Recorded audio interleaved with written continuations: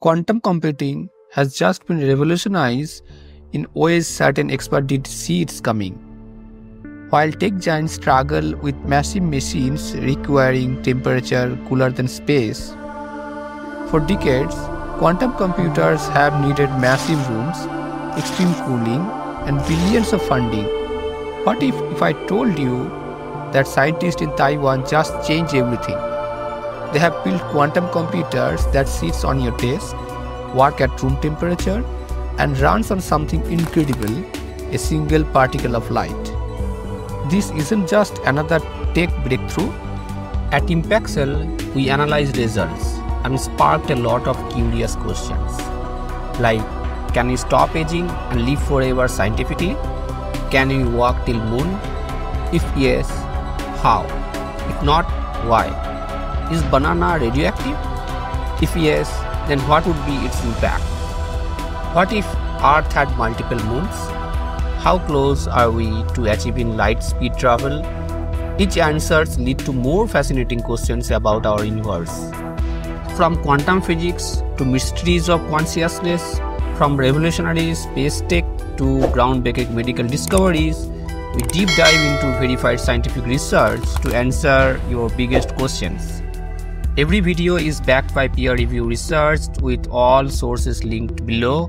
No hype, no exaggeration, just pure scientific curiosity.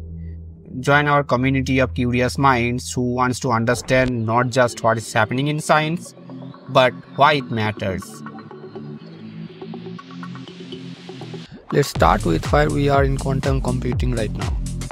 For years, we've been building quantum computers primarily in two ways using superconducting qubits, that's what giants like IBM and Google use, and trapped ion systems like, like what IonQ develops. Both these approaches have massive challenges as they either need extremely low temperature or incredibly complex laser system just to work. To understand why this new breakthrough is so revolutionary, we first need to understand four essential requirements for quantum computing. First, we need quantum bits or qubits that can exist in multiple states simultaneously, what we call superposition. Second, the quantum states need to stay stable long enough to actually do the calculations. And third, we need precise control over these states to perform operations. And fourth, we need to able to read out our results accurately. And now, here's Professor Chu-Chi Sang's team has done something absolutely remarkable. Instead of using traditional qubits, they have developed a system using just a single photon, one particle of light, as their quantum information carrier.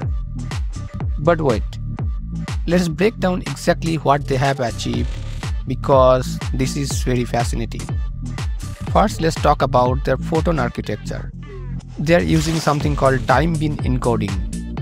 Imagine silicon time itself into 32 discrete segments. Each of these segments can carry quantum information. And because we are working with quantum mechanics, each segment can exist in multiple states simultaneously. It's like having a 32 dimensional quantum system all packed into single photon. Now, here's where it gets really interesting. Traditional quantum computers need cooling to near absolute zero because any heat will destroy their quantum states. But what about photons? They naturally maintain their quantum states at room temperature. The team achieved this through a brilliant design using ring-shaped optical fiber system. Let me show you what this system can actually do. They have demonstrated prime factorization using Shor's algorithm that not just a proof of concept, that's a functional quantum processing system and they are doing this with significantly less power than traditional systems. From a physics perspective, this is revolutionary for three key reasons. First, let's talk about quantum coherence. Traditional systems struggles with something we call decoherence, basically quantum information getting lost to the environment. This photonic system maintains coherence at room temperature through precise optical engineering. Second, the scalability potential is enormous. Instead of electronic circuits, they are using potential pathways. This reduces interference issues and open up possibilities for scaling through photonic integrated circuits. And third, this is a game changing for energy efficiency. No cryogenic cooling needed.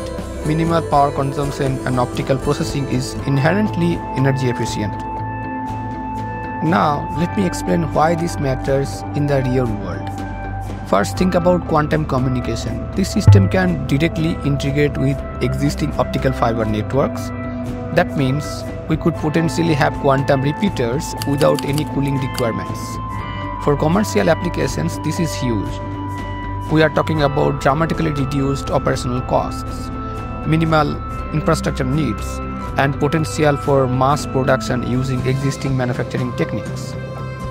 And for research, the applications are immediate quantum chemistry simulations, optimization problem, machine learning acceleration, all possible on a desktop sized device.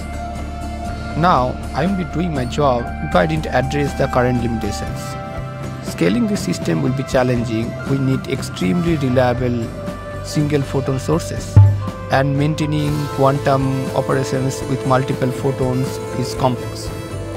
We also need to develop new error correction protocols, especially for this architecture. Looking ahead, here what we can expect.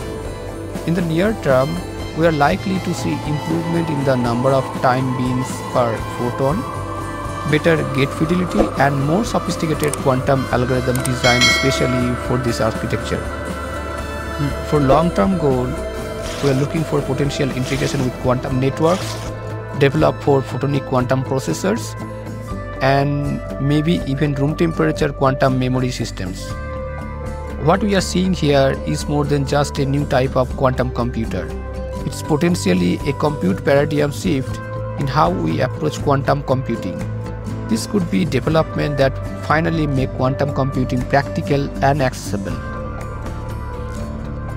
I'll be following this development closely and I promise to keep you updated on any new breakthroughs. If you believe in power of understanding why and appreciate the effort we put into bringing you verified scientific content, Show your support by subscribing to Impaxle.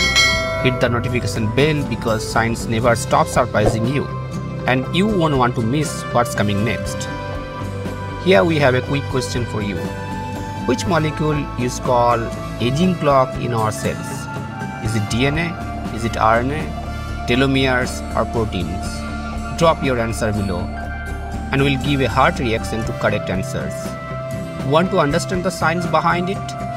Watch our detailed video explaining this fascinating process with peer-reviewed research. If you love exploring science's biggest mysteries, hit subscribe to join Impaxle. See you next time.